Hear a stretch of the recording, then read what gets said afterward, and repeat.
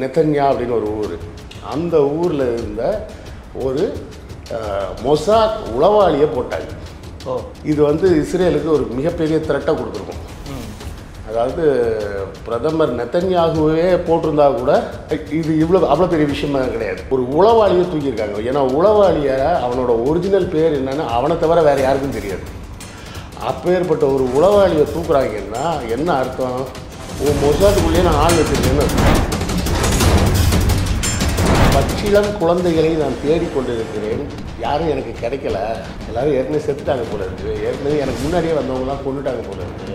அப்போ நீ யாரையுமே கொல்லலையானா அந்த எதிர் சைடில் இருக்க இப்போ லேடி கேட்குறான் அவன் என்ன கேட்குற அப்போ நீ வேற யாருமே கொல்லையா ஆ no I just kill twelve year old girl பெருசாலாம் ஒரு ஒரு பன்னெண்டு வயசு பொண்ணை தான் கொண்டாங்க We are looking for babies, but there is no babies left.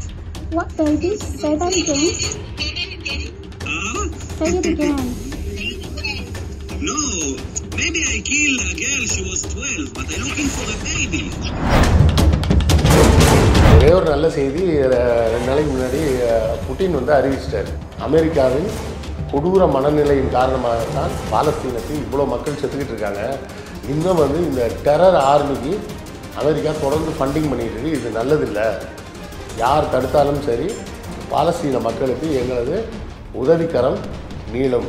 AIDS will be sent அப்படின்னு சொல்லி அவர் பேட்டி கொடுத்துருக்கிறாரு. அது ஒன்று தான் இப்போதைக்கு ஒரு சின்ன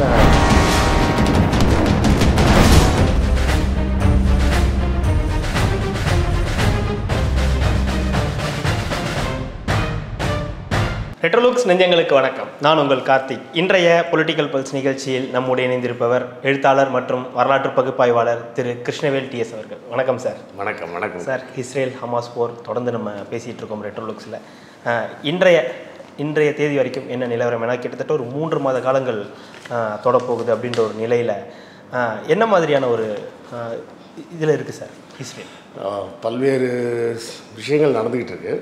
அதில் குறிப்பாக முக்கியமாக ஒரு செய்தி சொல்லணும்னா நீங்கள் எல்லாம் பார்த்துருப்பீங்க. அதாவது ஈரானோட ஈரானை சேர்ந்த ஒரு முக்கிய இராணுவ தளபதியை வேணும்னே போட்டாங்க. ஆமாம் அதாவது அவர் வந்து சிரியாவுக்கு வந்திருக்கிறார். இப்போ எத்தனை பேரை உள்ள பிரச்சனையில் கே இழுக்கிறாங்க இஸ்ரேல்ன்றதை பாருங்க. இவர்களுக்கு பிரச்சனை வந்து ஏ- ஹமாஸ் கூட. அவர்களுக்கு உதவியாக ஹவுதி இருக்கிறாங்க ஹெஸ்புல்லா இருக்காங்க. இது ஒரு பக்கம் இருந்தால் இவன் சம்மந்தம் இல்லாமல் ஈரானோட தளபதியை கூட்டு வந்து சிரியாவில் வச்சு போடுறான். அப்போ என்ன அர்த்தம்னா சிரியாவும் சண்டைக்கு வா ஈரானும் சண்டைக்கு வா. அப்படின்னு கூப்பிட்றதுக்கான வேலை தானே இது? அப்போ இவங்க ரெண்டு பேரையும் சேர்த்து வம்பிழுத்தோம்னா எவனாவது ஒருத்தன் டென்ஷன் ஆகி பதிலுக்கு எதையாவது போட்டான்னா நம்ம ஜி பண்ணார்ல போன தடவை. சும்மா இல்லாமல் போய் ஒரு சில ஆண்டுகளுக்கு முன்பு. சும்மா போய் க ஃப்ளைட் எங்கேருந்து கொண்டு போய் பாகிஸ்தானுக்குள்ளே விட விட வேண்டியது.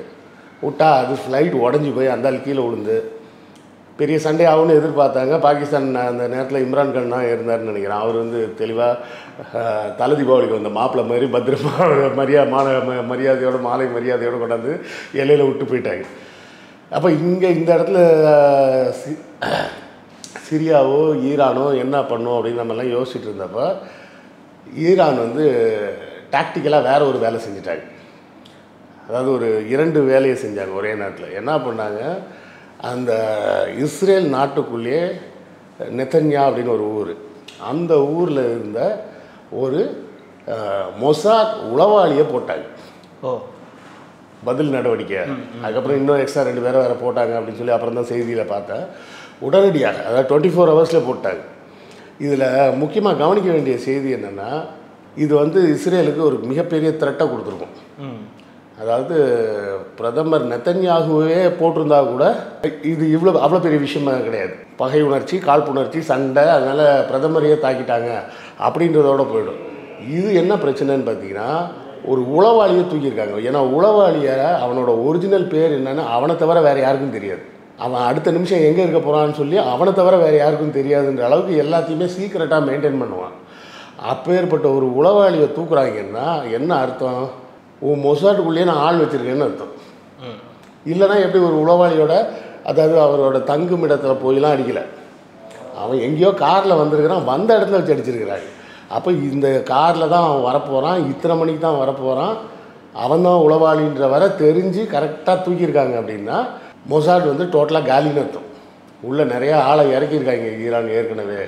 அதனால தான் டுவெண்ட்டி ஃபோர் ஹவர்ஸில் அடிச்சிட்டாங்க அன்னைக்கு ராத்திரியே என்ன பண்ணாங்க? ஒரு ஆறு மணி நேரத்துக்கு மொத்த இஸ்ரேல்லையும் பவர் கட்டு பவர் பிளான்ட்டை பூரா ஹேக் பண்ணிட்டாங்க. ஸோ ஒரு ஆறு மணி நேரம் பவர் இல்லைன்றதே வந்து இஸ்ரேலுக்கு வந்து ஒரு பெரிய அவமானம். உன்னோட நாட்டில் எப்படி பவர் போச்சுன்னு உனக்கே தெரியாது. அது என்ன ஏதுன்னு கண்டுபிடிச்சி சரி பண்ணுறதுக்கு கிட்டத்தட்ட ஒரு ஆறு மணி நேரம் ஆயிருக்கு.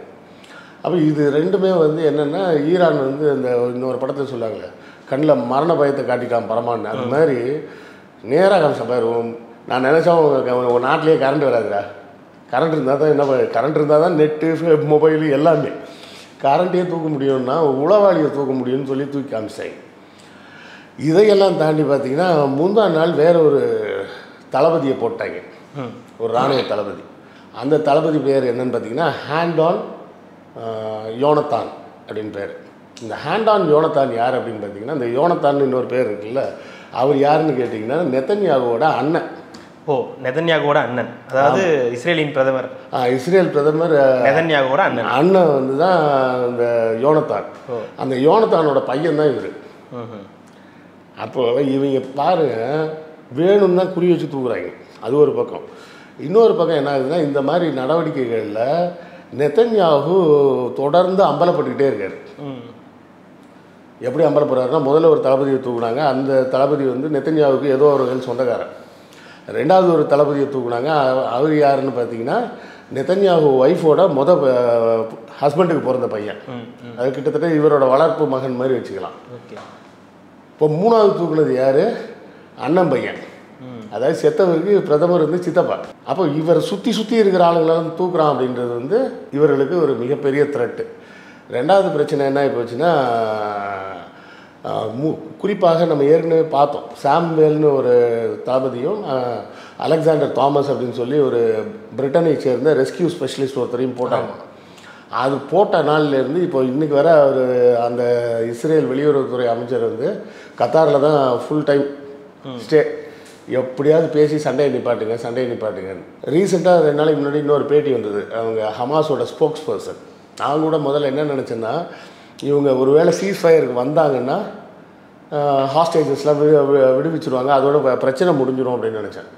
அந்த அவங்க ஸ்போக்ஸ் ஸ்போக்ஸ் பர்சன் பேசுனது வந்து ஒரு பெரிய வீடியோ ஒரு வேற ஒரு சேனலில் பேட்டி கொடுத்துருக்காரு. டிஆர்டின்னு ஒரு சேனலில் அந்த சேனலில் அவர் ரொம்ப தெளிவாக சொல்கிறார் சண்டையெல்லாம் நாங்கள் நிப்பாட்ட முடியாது. எங்களுக்கு வந்து ஆயிரத்தி தொள்ளாயிரத்தி அறுபதுகளில் எப்படி எல்லைகள் இருந்ததோ அந்த எல்லைகளுக்கு ம இடம் மாறினா மட்டும்தான் சண்டையை நிப்பாட்ட முடியும். இல்லாதவரை சண்டையை நிப்பாட்டுறதாவே இல்லை. அப்படின்னு அவர் தெளிவாக சொல்கிறார் அந்த டிவியோட நெறியாளர் என்ன கேட்குறாருன்னா நீங்கள் ஏன் இப்படி ஒரேடியாக மொத்தமாக எனக்கு எல்லாத்தையும் பழைய மாதிரி கொடுத்தா தான் சரியாக வரும்னு சொல்கிறது கொஞ்சம் ஸ்டபானாக இருக்குது கொஞ்சம் ஸ்டெப் பை ஸ்டெப் கேட்கலாம்ல. முதல் ஸ்டெப்பு சீஸ் ஃபயர் அடுத்த ஸ்டெப்பு எக்ஸ்சேஞ்ச் ஆஃப் பிரிசனர்ஸ் அடுத்த ஸ்டெப்பு பேச்சுவார்த்தை. இப்படி ஸ்டெப் பை ஸ்டெப்பாக போகலாமே அதுக்கு அந்தாலும் நக்கலாக சிரிக்கிறேன் அந்த பேட்டியிலேயே அந்த வீடியோ வேணால் அனுப்புகிறேன் முடிஞ்சால் கட் பண்ணி போடுங்க. அந்த அவர் என்ன சொல்கிறாரு உங்கள் ஸ்டெப் பை ஸ்டெப்பெல்லாம் எங்களுக்கு தெரியும். இந்த ஒரு பழைய அஜித் படத்தில் வரும் தெரியுமா? சார் டக்குன்னு திரும்பி பாருங்க. சார் இதானா சார் உங்கள் டக்கு அப்படிம்பாரு. அந்த மாதிரி உங்கள் ஸ்டெப் பை ஸ்டெப்பெல்லாம் எங்களுக்கு எல்லாம் தெரியும். தொண்ணூத்தஞ்சில் என்ன பண்ணீங்கன்னு மறந்துட்டீங்களா? தொண்ணூத்தஞ்சில் இதே மாதிரி தான் சொன்னீங்க. ஸ்டெப் பை ஸ்டெப்பு நீங்கள் தொண்ணூத்தஞ்சிலேருந்து இன்றைக்கி எவ்வளோ வருஷமாச்சு? என்ன கிழிச்சிட்டு இருக்கீங்க? ஒன்றும் கிளியில் எதுவும் மாறல. அவன் இஷ்டம் போல் அதே ஆட்டம் தான் போட்டுக்கிட்டு இருக்கிறான். ஸோ இதையெல்லாம் ஏற்றுக்கொள்ள முடியாது. ஸ்டெப் பை ஸ்டெப்லாம் கிடையாது. வெற்றி அல்லது வீர மரணம் அப்படின்னு. இப்போ அவர் திருப்பியும் கேட்குறாரு சரி நீங்கள் இந்த கான்ஃப்ளிக்டின் காரணமாக இந்த மோதல்களின் காரணமாக பாலஸ்தீனத்து ப அப்பாவி பொதுமக்கள் சாகிறாங்களே. உங்களால் முழு வீச்சோடு அவர்களை காப்பாற்ற முடியுமா? எங்களால் முடிஞ்ச அளவுக்கு காப்பாற்றுறோம் இல்லை அப்போ உங்களால் முடிஞ்ச அளவுக்கு தான் நீங்கள் காப்பாற்றுறீங்கன்னா அவங்க செத்துக்கிட்டு தானே இருக்காங்க. இந்த கான்ஃப்ளிக்டை நிப்பாட்டினீங்கன்னா அந்த அவர்களின் மரணமாவது தவிர்க்கப்படுமே அப்படின்னு கேட்டார். நானும் பார்த்தா ஆஹா நியாயமான கேட்குறாரு. நியாயமான மனுஷன் போல இருக்கு அப்படின்னு நினச்சா அது தெளிவாக சொல்கிறார் ஹமாஸ் தாக்குனாலும் தாக்காவிட்டாலும் பாலஸ்தீன மக்கள் தினமும் செத்துக்கிட்டு தான் இருக்காங்க. அட்லீஸ்ட் இப்போ நம்ம திருப்பியாவது அடிக்கிறோம். முன்னாடி திருப்பி கூட அடிக்க முடியாத அளவுக்கு அடி வாங்கிட்டு இருந்தாங்க. இப்போ திருப்பியாவது அடிக்கிறோம்ல? இனிமையாவது இஸ்ரேல் தெரிஞ்சுக்கிட்டோம் அப்படின்னு சொல்லி அவர் அந்த பேட்டி ஒரு நீண்ட பேட்டி ஒரு பன்னெண்டு நிமிஷம் க- ஓடுற மாதிரி இருந்தது. இதில் எனக்கு ரொம்ப மனசு கஷ்டமானது வந்து ஒரு வீடியோ பார்த்தேன். அந்த வீடியோவில் ஒரு இஸ்ரேலை சேர்ந்த ஒரு இராணுவ வீரர். ஃப்ரீ டைமில் வீட்டில் ஒய்ஃப்கிட்டயோ இல்லை லவ்வர்கிட்டையோ இல்லை அம்மாட்டையான்னு தெரில அந்த சைடு இருக்கவங்க யாருன்னு தெரியல. யாரோ ஒரு லேடிகிட்ட பேசிகிட்டு இருக்கிறான். என்ன சொல்கிறான்னா இப்போ நம்ம கடைக்கு போவோம்ல. போயிட்டு வீட்டில் சொல்லுவாங்க மீன் வாங்கிட்டு வா அப்படின்னு ஏதாவது சொல்லுவாங்க. போயிட்டு அங்கேருந்தே ஃபோன் அடிப்போம். இல்லைம்மா நீ கேட்ட இந்த மீன் இல்லை. வேணா மட்டன் வாங்கட்டுமா சிக்கன் வாங்கட்டுமான்னு கேட்போம்ல அந்த மாதிரி பேசிகிட்டு இருக்கிறான். மட்டன் சிக்கன் வாங்குறதை பற்றி இல்லை. ஜென்ரலாக ஏதோ ஒரு விஷயம். இல்லை ஜென்ரலாக பேசல. அவன் பேசுனதை கேட்டு எனக்கு அப்படியே மனசே ஒரு மாதிரி ஆயிடுச்சு. இவனுங்கெல்லாம் மனுஷனா அப்படின்ற மாதிரி. அவன் சொல்கிறான் I am looking for babies எதுக்கு தத்தெடுத்து வளர்க்க போகிறானா கொல்றதுக்கு.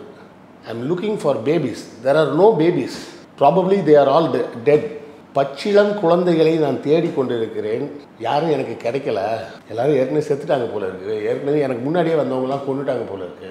அப்போ நீ யாரையுமே கொல்லலையானா அந்த எதிர் சைடில் இருக்க இப்போ லேடி கேட்குறான் இவர்கள் இருவரின் மனநிலை. அவன் என்ன கேட்குற அப்போ நீ வேறு யாருமே கொல்லையா ஆ no I just kill twelve year old girl நான் பெருசாலாம் ஒரு ஒரு பன்னெண்டு வயசு பொண்ணை தான் கொன்னேன். கேட்க ஒரு பன்னிரெண்டு வயது குழந்தை பெண் அப்படின்ற மாதிரி பெண் பன்னிரெண்டு வயது பெண் இல்லைங்க. பன்னெண்டு வயசு குழந்தை. நீங்கள் அக்கம் பக்கத்தில் பார்த்துருப்பீங்க. ஒரு செகண்ட் ஸ்டாண்டர்ட் படிக்கிற பொண்ணு எவ்வளோ பெருசுங்க இருக்கும்? இவ்வளோ இருக்குமா? செகண்ட் ஸ்டாண்டர்ட் படிக்கிற ஒரு பொண்ணை கொண்டிருக்கான்னு யோசித்து பார்த்தோம்னா அதன் பின்னணியில் எவ்வளோ ஒரு கொடூரம் இருக்குது அப்படின்றது. எப்படி அவனுக்கு அதை வந்து அவன் வந்து நான் சொன்ன மாதிரி அதை நான் வே- வேடிக்கைக்காக சொல்லலை. நாம் வந்து மார்க்கெட்டுக்கு போயிட்டு எப்படி வீட்டில் ஃபோன் பண்ணி சந்தேகம் கேட்டுக்கிட்டு என்ன பண்ணுறதுன்னு பேசிகிட்டு இருப்போமோ அதை போல் ஜாலியான மனநிலையில் பேசிகிட்டு இருக்கான் அந்த வீடியோவும் போட்டு காட்டுங்க அப்போ தான் மக்களுக்கு புரியும் We are looking for babies, but there is no babies left. What babies? Say that again. Ah? Say it again. No. Maybe I killed a girl, she was 12, but I'm looking for a baby. இதை வந்து நம்ம ஏதோ ஹமாஸுக்கு பே ஆதரவாக பேசுகிறோம் பேசுகிறோம்னு நினச்சிட்டு இருக்காங்க. ஹமாஸுக்கு இல்லை. நாம் அங்கே என்ன நடக்குதுன்ற உண்மை நிலவரத்தை சொல்கிறோம் பாதிக்கப்பட்ட மக்கள் எப்படியெல்லாம் பாதிக்கப்பட்டிருக்காங்க அப்படின்னு தான் சொல்கிறோம் ஹமாஸ் வந்து எத்தனை இஸ்ரேல் பொதுமக்களை கொன்றார்கள்னு டீட்டெயில்ஸ் இருந்தால் இஸ்ரேல் வெளியிட வேண்டியதுதானே? ஏன்னா அப்படி யாரையுமே அவங்க கொல்லலை. இன்னும் சொல்லப்போனால் இந்த நூற்றி முப்பத்தொம்போது பணைய கைதிகள் இருக்காங்களே மிச்சம் அவர்கள் திரும்பி வருவதை இஸ்ரேல் விரும்பலை. ஏற்கனவே வந்த வீடியோ அந்த அவங்க ஹாஸ்டேஜஸை ரிலீஸ் பண்ண எல்லா வீடியோஸ்லையும் அதுவும் முத முதல்ல அந்த அக்டோபர் பத்தாம் தேதியோ பதினஞ்சாம் தேதிக்கிட்டேயே ஒரு ரெண்டு வயதான பெண்களை வெளியிட்ட ரிலீஸ் பண்ணாங்க. அவங்க வந்து என்னவோ நாங்கள் ஓல்டேஜ் ஹோமில் தங்கியிருந்த மாதிரி ரொம்ப ச மகிழ்ச்சியாக இருந்தோம் ரிலாக்ஸாக இருந்தோம்னு வந்து பேட்டி கொடுக்குறாங்க. அதுக்கப்புறம் வந்தவெல்லாம் கேட்டால் அவங்க எல்லாம் எங்களை அதில் ஒரு பெண் வந்து சொல்லியிருக்காங்க. ஒரு இஸ்ரேலிய பெண் சொல்கிறாங்க பேட்டியில். அவர்கள் என்னை ஒரு ராணி போல் பார்த்து கொண்டார்கள். ஹமாஸ் மக்கள் நான் பா பாக்ஸிங் கற்றுக்கிட்டு இருக்கேன் அப்படின்னு சொன்னேன். கண்டினியூஸாக விளையாடு. வேணா இங்கேயே கூட ப்ராக்டிஸ் பண்ணுன்னு எங்களுக்கு ப்ராக்டிஸ் பண்ணுறதுக்குலாம் இடம் கொடுத்தாங்க. இவங்க பணைய கைதியாக போனவங்கெல்லாம் யாரும் பணைய கைதியாக எங்கேயோ இருட்ட மூலையில் உட்காந்துருந்த மாதிரிலாம் தெரியல. எல்லாம் நல்ல ஜாலியாக இருந்திருக்காங்க. சாப்பாடெலாம் போட்டிருக்காங்க. இப்போ இஸ்ரேலுக்கு என்ன தோணுதுன்னா இவங்கெல்லாம் வராமல் இருந்தால் நல்லது. வந்தவன் பூரா இப்படி தான் பேட்டி கொடுத்துக்கிட்டு இருக்கான். வந்ததில் யாரோ ஒருத்தன் அப்படி பேட்டி கொடுத்தா இன்னொருத்தன் வேறு மாதிரி பேட்டி கொடுத்தான்னா பரவாயில்ல. எல்லாருமே இந்த ஸ்டாக்ஹோம் சிண்ட்ரோம் மாதிரி ஆயிட்டாங்க. ஸ்டா- ஸ்டாக்ஹோம் சிண்ட்ரோம்னு கேள்விப்பட்டிருப்பீங்க. அதாவது அஹ், இங்கிலாந்தில் ஸ்டாக்ஹோம்னு ஒரு ஊர் இருக்குது அங்கே வந்து இருந்த ஒரு பெரிய வேற ஒரு இடத்துல இருந்த ஒரு பெரிய பணக்கார வீட்டு பொண்ணை ஒரு கடத்தல்காரன் என்ன பண்ணால் கடத்தி கொண்டு போய் ஸ்டாக்ஹோம் பகுதியில் இருக்கக்கூடிய காட்டு பகுதியில் ஒழிச்சு வச்சுக்கிட்டு ரான்சம் கேட்குறான் டிமாண்ட் பணம் கேட்குறான் அந்த பணங்கள்லாம் ரெடி ஆகி கைக்கு வந்து சேர்றதுக்கு ஒரு பத்து பதினஞ்சு நாள் ஆயிடுச்சு. இந்த பத்து பதினஞ்சு நாளில் அவன் கூடவே இருந்து அந்த பொண்ணு வந்து அவனோட நடவடிக்கையெல்லாம் பிடிச்சிட்டு பிடிச்சி போய் ப பணம் கொண்டு வந்து கொடுத்த அப்பாட்ட இருந்து பணத்தையும் வாங்கிட்டு நான் உங்க கூட வரல நீ கிளம்பு நான் இவன் கூட போகிறேன்னு போயிடுச்சு. அதுலேருந்து மனோதத்துவ ரீதியாக இந்த கிட்னாப் செய்யப்பட்டவர்கள் வந்து எப்போ ச- கொஞ்சம் நல்லா கவனிச்சிட்டாங்கன்னா அவங்களுக்குலாம் என்ன பயமாக இருக்கும்? நம்மளை கிட்னாப் பண்ணி கொண்டு போகிறான் கட்டி வச்சு அடித்து மிரட்டுவாங்க ப அப்படின்ற பயம் இருக்கும்ல. அந்த பயம் இல்லாமல் அவர்கள் அன்பாக நடத்தப்படும் போது அவங்க அந்த கடத்தல்காரனை லவ் நேசிக்க ஆரம்பிச்சிருவாங்க. சே எவ்வளோ நல்ல மனுஷனாக இருக்கான்ப்பா. சாப்பாடெலாம் கேட்ட கொடுக்குறான் தண்ணியெலாம் கேட்ட வருது. நம்ம வீட்டில் கூட தண்ணியெலாம் நம்ம தான் போய் குடிக்கணும். இங்கே தண்ணி வேணும்னு கேட்டால் கொண்டு வந்து கொடுக்குறாங்க. அப்படின்னு அந்த ஒரு அந்த அன்பு வந்துடும் அந்த ஸ்டாக்ஹோம் சிண்ட்ரோம்னு அதை சொல்லுவாங்க. அதை போலவே இங்கே வந்திருக்க அத்தனை வெளியே வந்த ப- பணைய கைதிகளும் ஒருத்தர் கூட தப்பாக சொல்லவே இல்லை. அதில் உச்சகட்டம் தான் ஒரு பொண்ணு என்ன சொல்லுது? ராணி மாதிரி வச்சுக்கிட்டாங்க. அப்படி. அதில் கூட யாரோ ஒருத்தனுக்கு வந்து கட்டு போடணுமா? ஏதோ கையில் ஏதோ அடிபட்டிருக்குன்னொடனே அந்த ஹமாஸ் போராளிகளில் ஒருத்தன் என்ன பண்ணான்னா கையில் துணியை போட்டு சுற்றிட்டு அதுக்கப்புறம் தான் அவங்க கையை ம் நாங்கள் வந்து பெண்களை எல்லாம் தொடக்கூடாது அடுத்த பெண்களை. அப்படின்னு.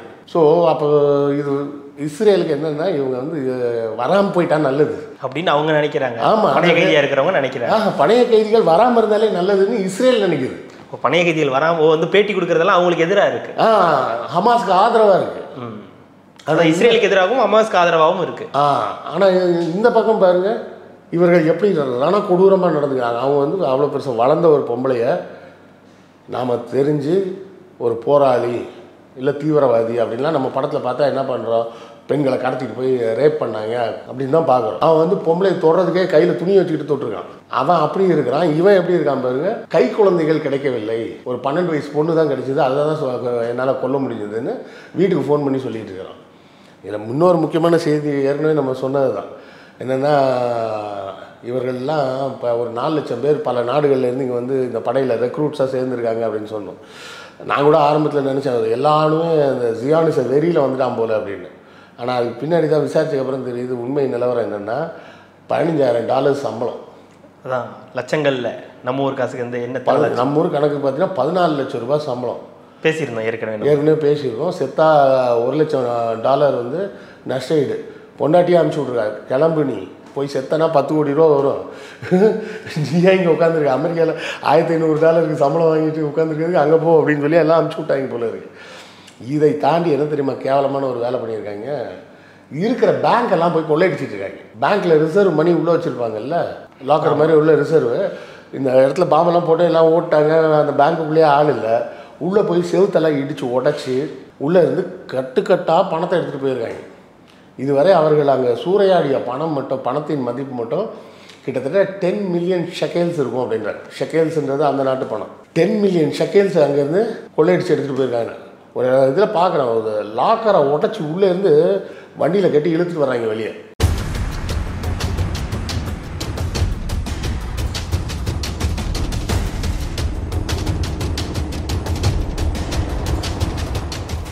ஸோ இவர்கள் போனது வந்து எங்கேயுமே சண்டைக்காகவோ ஹமாஸ் கூட போராடுவ போராடுவதற்கோ பணைய கைதிகளை மீட்பதற்காகவோ எதுவுமே இல்லை.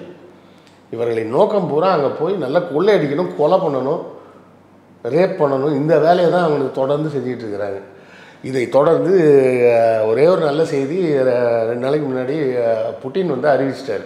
அமெரிக்காவின் கொடூர மனநிலையின் காரணமாகத்தான் பாலஸ்தீனத்தில் இவ்வளோ மக்கள் செத்துக்கிட்டு இருக்காங்க. இன்னும் வந்து இந்த டெரர் ஆர்மிக்கு அமெரிக்கா தொடர்ந்து ஃபண்டிங் பண்ணிகிட்டு இருக்கு. இது நல்லதில்லை. யார் தடுத்தாலும் சரி பாலஸ்தீன மக்களுக்கு எங்களது உதவிக்கரம் நீளம். எய்ட்ஸ் வில் பி சென்ட் அப்படின்னு சொல்லி அவர் பேட்டி கொடுத்துருக்கிறாரு. அது ஒன்று தான் இப்போதைக்கு ஒரு சின்ன மகிழ்ச்சியான செய்தி. இதை தாண்டி வேறு இப்போதைக்கு எதுவும் சொல்கிற அளவுக்கு எதுவும் இல்லை. இன்னொரு செய்தி வேணால் சொல்லலாம். ஆயிரத்தி தொள்ளாயிரத்தி நாற்பத்தி அஞ்சில் ஆல்பர்ட் ஐன்ஸ்டீன் வந்து ஒரு லெட்டர் எழுதியிருக்கிறார். அந்த லெட்டரோட காப்பியும் இப்போ மக்களுக்கு காட்டுங்க. அந்த லெட்டர் என்ன சொல்லுது அப்படின்னு சொன்னால் யாருக்கு அட்ரஸ் பண்ணியிருக்கு அப்படின்னு சொன்னால்